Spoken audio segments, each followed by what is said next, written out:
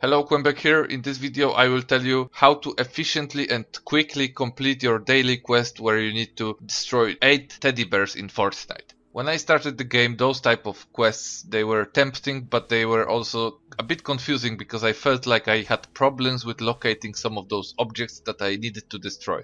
That's why after a while I've gathered up some knowledge and I'm going to share it with you.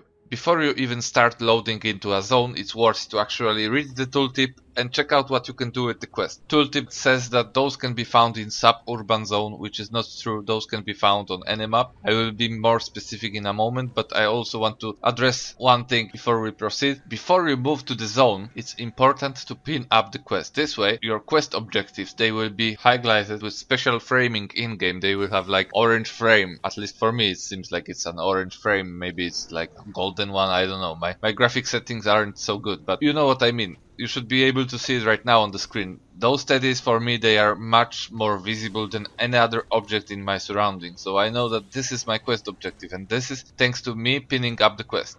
As I said, you can find those teddies everywhere on every type of zone. But there are some patterns that you might want to follow if you want to locate them faster or if you want to check places that you know that they might be there. And those places are bedrooms, living rooms, toy stores, daycare, hospitals, schools, playgrounds or even bathtubs.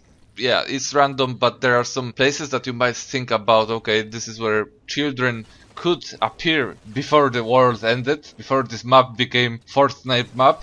And yeah, in those places where children could be, there's a high chance that teddy bears will be left around. So that's where you come in with your pickaxe and you start smashing, completing your daily quest. I hope that this video helped you. If it did, remember to hit the like button. And if you didn't subscribe yet, consider doing so because there's more Fortnite content on this channel. Thank you very much for watching and see you later.